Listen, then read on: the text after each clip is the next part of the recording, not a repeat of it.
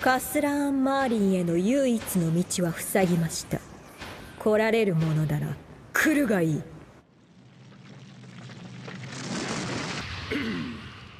我々は栄光ある異端審問所の本拠地ボームより参った。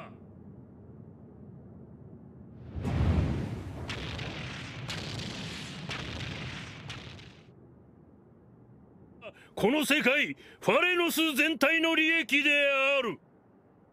スペクトルネメシスの召喚及び住民への攻撃。なんと書いてある。うん？我が名はクイーン・ブーディカ。女王に話があるのであれば両膝をつくのが礼儀であろうマーリン様が守りしシュバンディールの血は我らのものぞ。